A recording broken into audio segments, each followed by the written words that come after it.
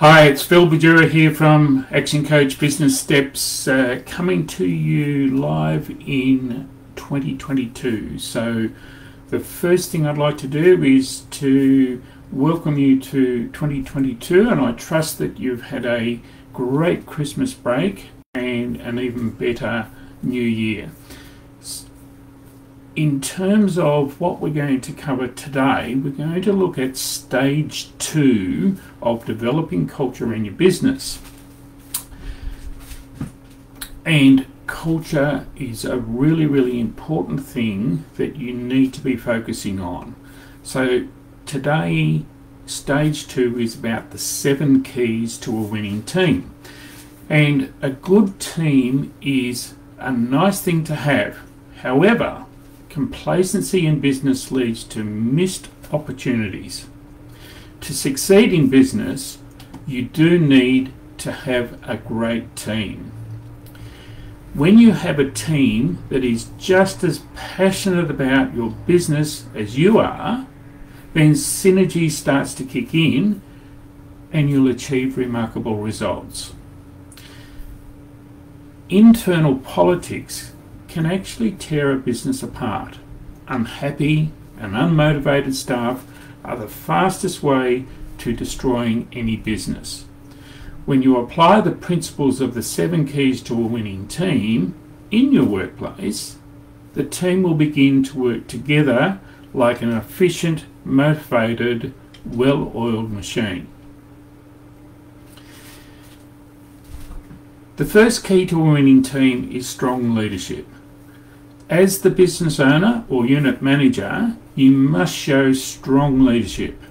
As the leader, you must have passion, focus, and take responsibility for the leadership of your organisation or your role within the organisation.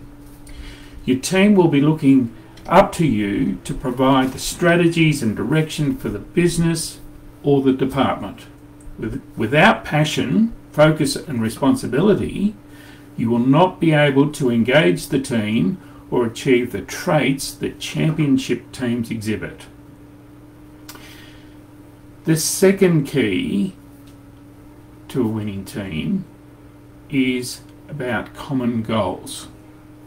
Defining what the common goals are for the business. Are you clear about where you are going and how you're going to get there?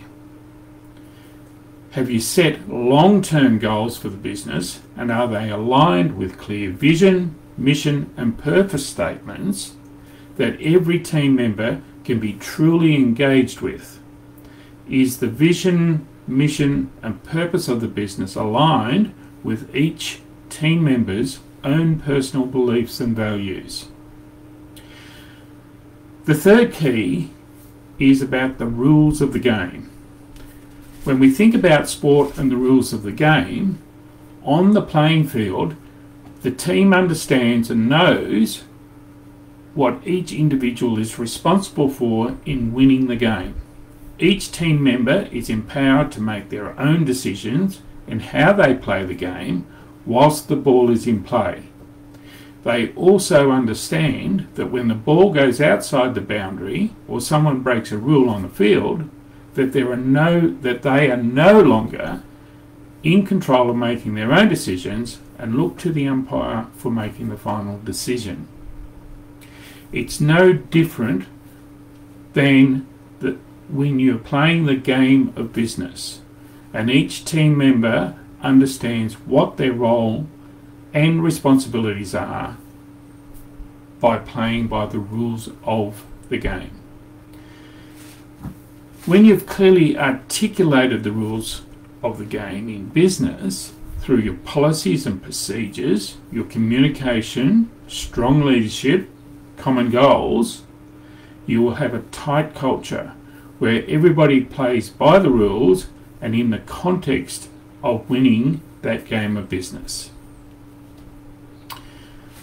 The fourth key is the action plans having well defined action plans are more about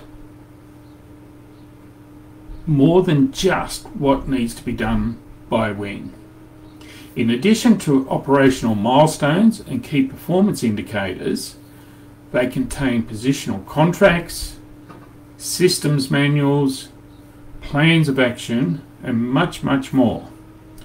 My challenge for you is to take some time to review your own action plans that take place in your business every day and then look for ways that you can improve how your action plan can be adapted or modified to, to improve your efficiencies, productivity, results, and outcomes.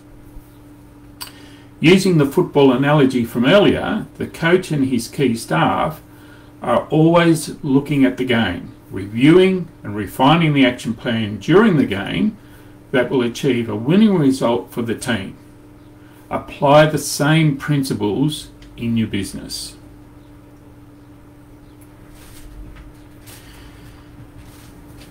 The fifth area in the seven keys to a winning team is supporting risk taking. Companies that have gone from good to great will have adopted the Japanese principle of Kaizen. In today's language, that means continuous improvement. Be comfortable that change is good, and supporting risk taking can propel your company forward through a uniqueness that sets you apart from your competition. Every business has experienced a product, employee, or service failure. It comes with the territory. One of the best ways to feed your company culture and to grow is to openly address your failures and be open to discussion and feedback from your team. Team members who are engaged put energy and excitement into the work that they create. If you want to build a strong company culture and maintain or hire a team who is loyal to their work, you must engage with all of them. And this is done through the sixth key to a winning team, which is 100% involvement and inclusion. And the seventh key is appreciate, know and appreciate your people. Get to know what makes them tick, what motivates them, what demotivates them, and that is going to be a key way for developing your winning team. Culture is a collective concept and it's produced by groups of people. What your company creates together and how it performs together is at the heart of that culture and not merely in the hands of the leaders.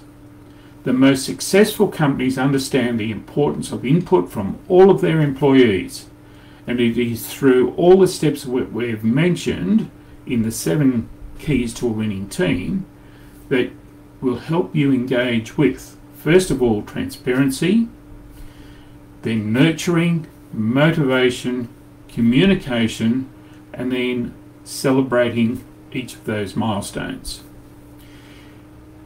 If your employees don't understand the what and the why they come to work every day, through the business vision, the common goals, the rules of the game, their role in the action plan, then they'll be very limited, limited in how they can contribute to the overall success in winning the game of business. The seven keys to a winning team is a great tool for developing better culture in your business. If you'd like to have a copy of this document, please message me and uh, I will forward that to you. So until next time, make sure that you're focusing on developing a better culture in your team. And, and in our next live video, we'll be looking at the third stage, which is DISC profiling and training. Until then, have a great day. Bye now.